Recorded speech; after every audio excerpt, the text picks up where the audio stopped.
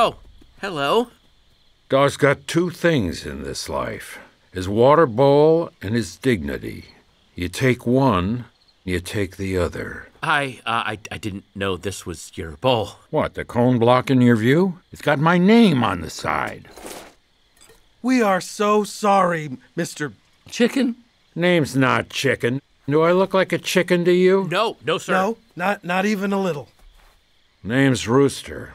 Oh, okay. I- I'm Max, and Hey, this what's is. that kid doing in the cage? Something wrong with him? You got the fever? Uh, that's that's Liam. He uh, he likes to run. So let him run. Well, Liam's super fast. We, we, we blink and he's up a tree. So then your kid's up a tree. What's the problem?